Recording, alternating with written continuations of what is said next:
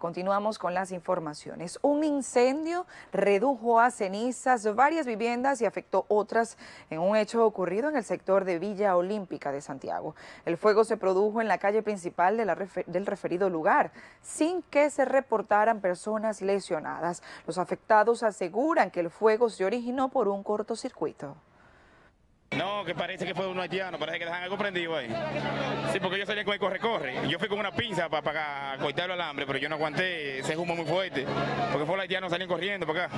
Fue allá abajo que empezó, en una casita allá abajo, como un alambre fue, una electricidad o algo. Los haitianos que estaban ahí, que parece que le habían cortado la luz.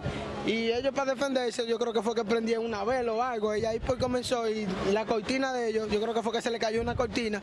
Y al caerse la cortina se prendió porque eso ahí era de todo de madera. Ahí no había bomberos habían llegado a tiempo, ese fuego no se arma así, porque cuando empezaron a botar humo y sí, nosotros empezamos a llamar 911 y quedaron de llegar, llegaron como a la media hora ya cuando no había condiciones, cuando ya estaba todo quemado. Unidades del Cuerpo de Bomberos de la zona intervinieron y evitaron que el siniestro se propagara en otras casas. Las viviendas estaban construidas con bloc, madera y zinc.